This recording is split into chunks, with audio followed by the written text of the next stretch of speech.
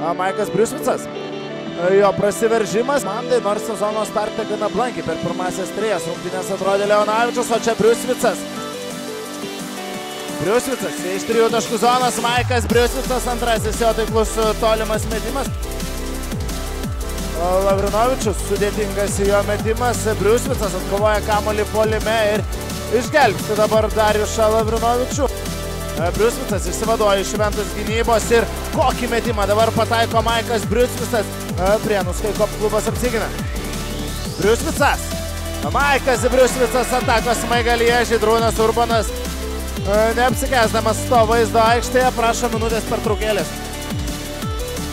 O bus stipriai aptarinėjamas po šios dienos pasirodymo. Maikas Briusvicas nusipelno ne ką mažiau prožektorių.